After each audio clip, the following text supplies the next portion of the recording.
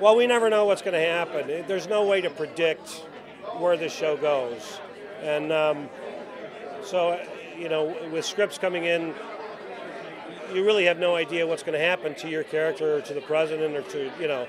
So, most things you can predict. You can, but this is really unpredictable. Absolutely. They, uh, they can analyze it in a totally different way. Um, I think also that, that whole uh, the whole British thing about that cynicism about everything really makes the show what it is because they're they just never had much expectation about politics you know and, and here we like to think of you know everything is altruistic and and we're new, but we've discovered that it indeed is not. You know, it's a more naive society in a way, yeah. no? More oh, absolutely. Innocent. Look at look at how the look at how the country votes.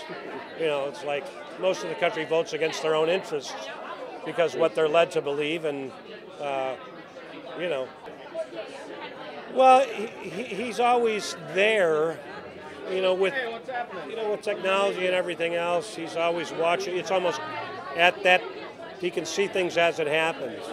Um, what I always liked when he was around is that he really can boil things down very quickly, or he used to call just peel the onion. You know, very that kind of perception where it might take us a longer time to arrive at something. He just, okay, this is it. So, uh, yeah, he's just kind of a brilliant guy and and uh, and, and very someone who's able to convey that, which you don't always get.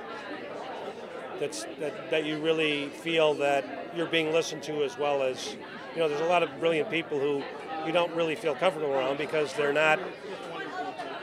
You know, it's a bit standoffish, but he brings you in and lets you know that you know you're hired i trust you you're you know so it's really it's very fun to work with the guy you know, because he really gives you, you know, he just loads you up as an actor. You just, you feel confident. You're so loaded going in, and uh, it's really a joy to do his show.